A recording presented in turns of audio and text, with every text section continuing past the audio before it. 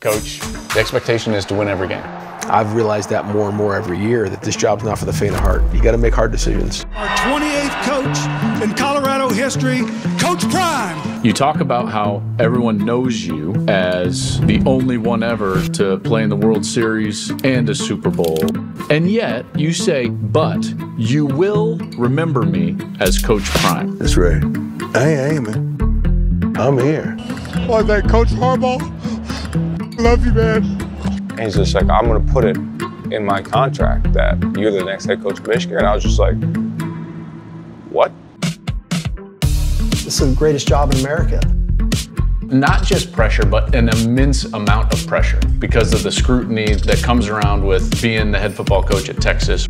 The expectations that others may have for me, mine are probably higher than, than what everybody else yeah. could think of. Kirby used to say pressure is a privilege, and I think there's a lot of truth to that.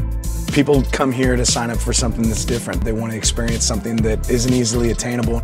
I think Penn State, I think your program is in a position to really flourish in the next few years in particular. Well, good. I'm glad you feel that way.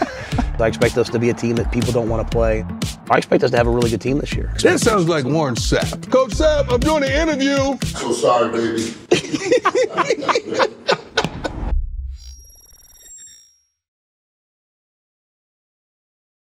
Thank you for watching the Joel Klatt Show YouTube channel. And if you liked this clip, make sure to like it and subscribe to the channel. And you can stay up to date on all of my college football coverage.